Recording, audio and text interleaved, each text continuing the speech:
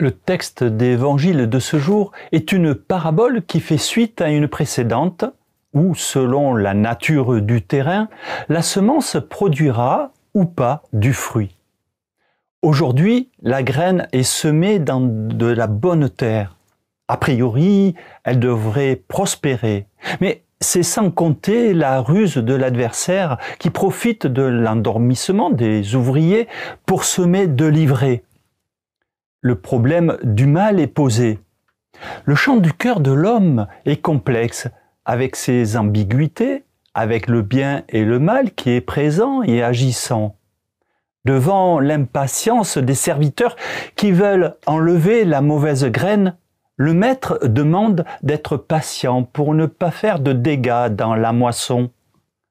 Le maître nous demande à nous aussi d'être nous-mêmes patients jusqu'à la moisson et de veiller surtout au bon grain, c'est-à-dire de ne pas nous endormir et de veiller avec nos lampes allumées.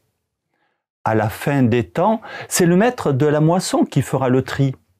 Par cette parabole, Jésus-Christ nous incite à accepter notre condition humaine avec ce mélange de bien et de mal, confiance et patience, le maître de la moisson gardera uniquement les bons épis.